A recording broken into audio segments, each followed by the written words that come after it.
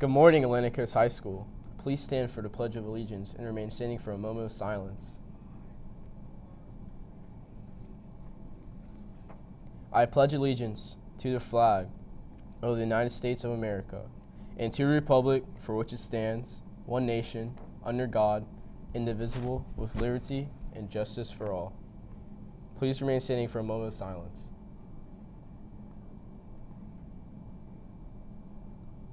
Thank you. Please be seated.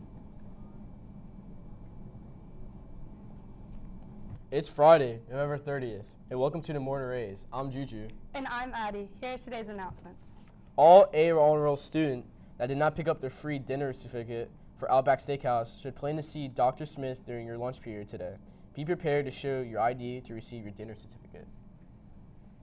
The junior ladies are sponsoring a winter clothing drive. If you have any gently used shirts, jeans, hoodies, jackets, dresses, or leggings that you would like to donate to those in need at the Clara White Mission, then you can drop your donated items off outside of room 533, inside the cafeteria, or inside the media center between now and December 21st.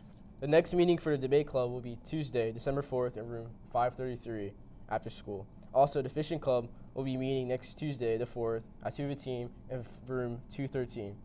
The items that will be discussed are rigging, casting techniques, and the next opportunity to go fishing. ACHS will host another blood drive next Thursday, December 6th. If any of you are interested in saving a life by donating blood, you should sign up with Ms. Thomas in room 534. Student will need a signed parental consent form if they are 16, while students who are 17 and older do not need a parental consent form. Donors must be in good general health and weigh more than 110 pounds. Those are all announcements for today. Have a fun, Fantastic, fancy, fabulous, frat, fresh. five, Friday, Friday.